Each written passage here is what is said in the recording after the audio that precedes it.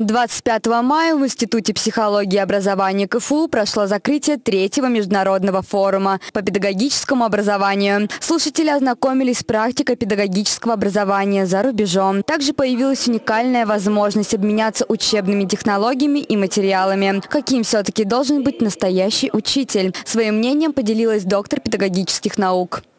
Учитель в современной школе должен быть не просто сам педагогом-гуманистом, должен уметь работать с родителями и с детьми для того, чтобы они ощущали свою защищенность э, как в школе, так и в семье. Аурелия Сташкова, Роман Самарин, Univer News.